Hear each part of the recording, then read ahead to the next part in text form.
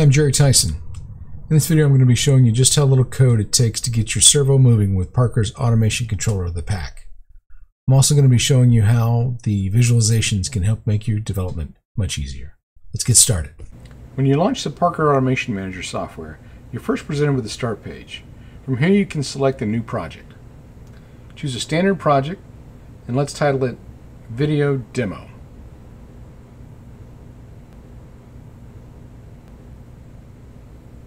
Click OK. Now it's going to create a POU of your default type. Mine is set to ladder logic. You'll see it creates a tree structure on the left hand side. We're going to click on Device and have it look on the network for our controller. So let's click Scan Network. You should find it. We'll click on it and we're connected. Now let's go online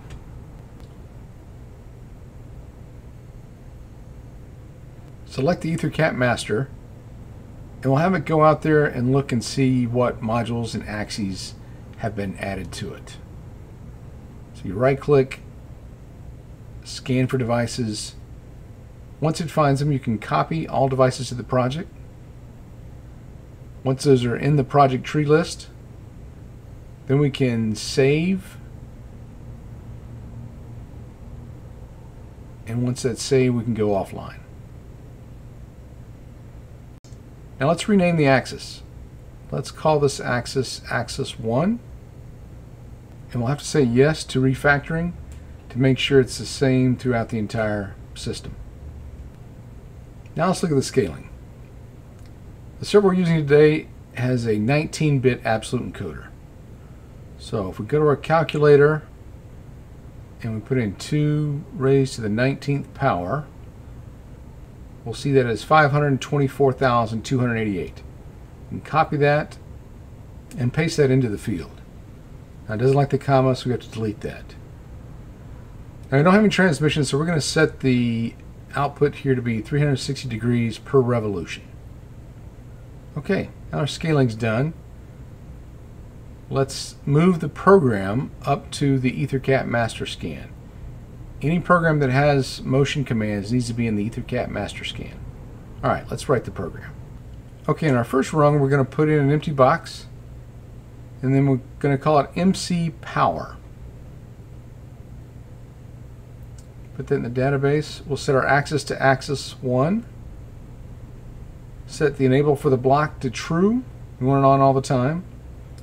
We'll set our tag to be A1 underscore enable for the B regulator on and the B drive start. On the output, we'll put a coil and we'll label it A1 underscore enabled. Now we don't need anything else, so we're going to right click and remove unused parameters. In the next rung, we're going to put in another empty box, and this is going to be MC underscore jog. So again, we'll put in our axis create A1 underscore forward and A1 underscore reverse. And then put in tags for our velocity, acceleration, and for the deceleration. in this simple example, we don't need anything for jerk. Matter of fact, we're just going to remove all the rest of the unused parameters. Now that is all the code you need to get motion on this controller. So let's go ahead and go online. And you'll see that the controller is off, so let's start the CPU. Let's fold up the tag definitions. Now we can force on the enable. Now remember you have to use F7 to activate the forces. Now let's put in some values for the jog velocity, the jog acceleration, and the jog deceleration. And again, we have to use F7 to force those values. We can then force the forward, and voila, we have motion. Now to unforce, you can right click, choose to remove the force. We're actually going to go offline and remove all forces because we can do better. We're going to add a visualization, which is basically a virtual HMI. We first need to add a visual manager and activate the symbol libraries. And then we need to add a visualization.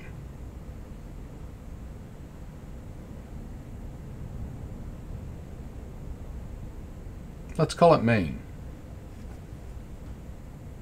Okay, now under the Web Manager, click on Web Visu and let's set the Start Visualization to main.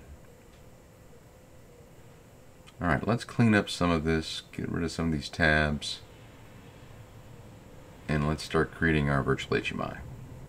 So we first need a power switch, and let's put on an indicator, let's make it a little bit smaller, to show when the servo is enabled. Okay, let's align these two vertically. And let's set the variable for the indicator. We want to tie that to application PLC prog A1 enabled. Alright, and let's set the color to green. Okay, now the power button. Let's set the variable to A1 enable. Okay, let's get some jog buttons. I like the ones with the LED indicators. So we'll need two of these, copy and paste. And let's get them aligned with the power button. Alright, let's set the variable. This needs to be A1 forward. Now we have to remember to set the element behavior to image tapper because we want these to be momentary buttons for the jog. And the same for the reverse. Okay, let's set up some labels for them. So grab the label, FWD, let's resize it, and let's make a copy of it for the reverse.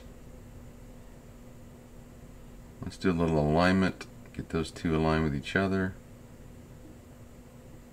And then we can align them with the individual buttons.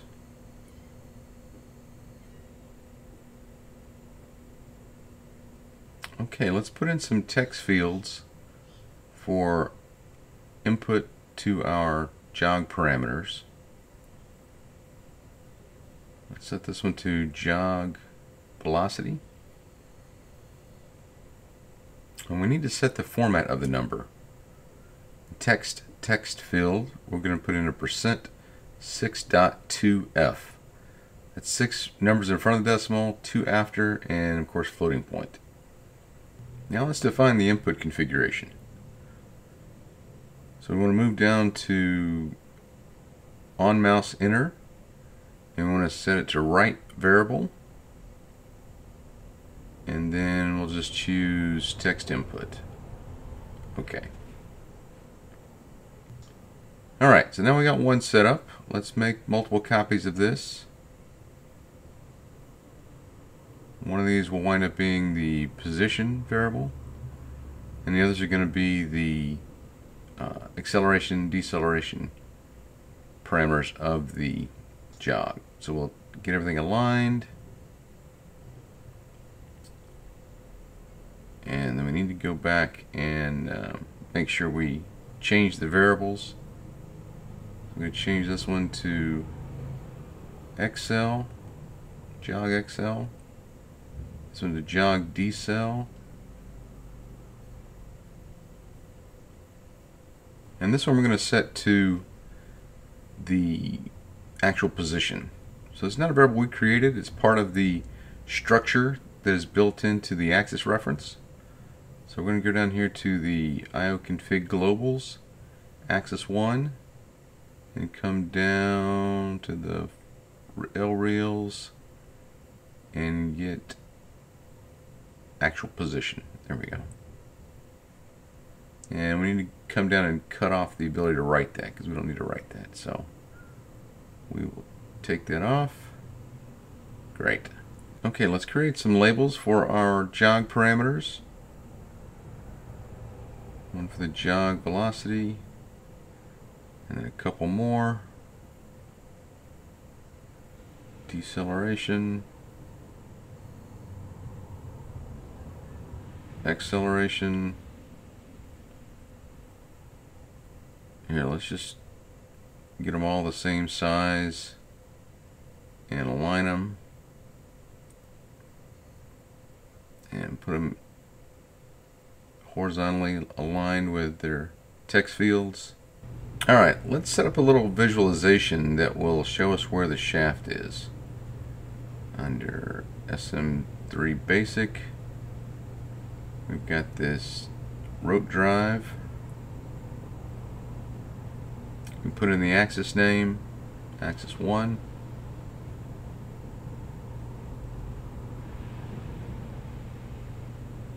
Okay.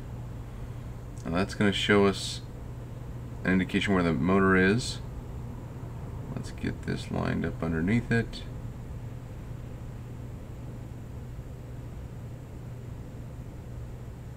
And align together.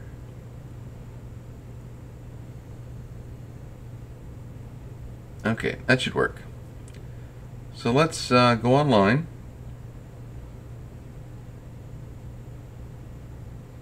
It'll compile and download.